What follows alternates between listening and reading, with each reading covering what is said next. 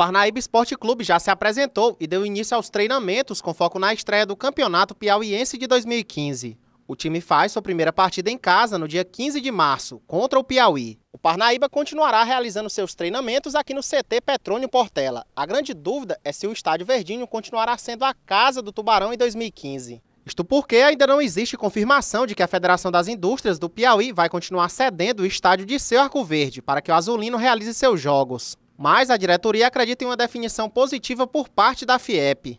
Falando em formação de equipe, mais uma vez a aposta é a prata da casa. O presidente Batista Filho anunciou nomes que são velhos conhecidos da torcida. São jogadores da cidade, né? Alessandro, Tonton, Luciano, é, o Damison, o Ribamar, o Puxinha, entre outros nomes, né, que são da cidade. Esse primeiro trabalho de 15 dias será só com os atletas daqui da cidade. E a partir do dia 20 de fevereiro a gente irá apresentar o treinador com o restante dos jogadores contratados. E para comandar o time do Litoral na beira de campo, o Tubarão continua na expectativa de trazer o também velho conhecido Paulo Moroni. Treinador, a nossa primeira opção sempre foi o Paulo Moroni, nós estamos aguardando uma posição até o dia 15.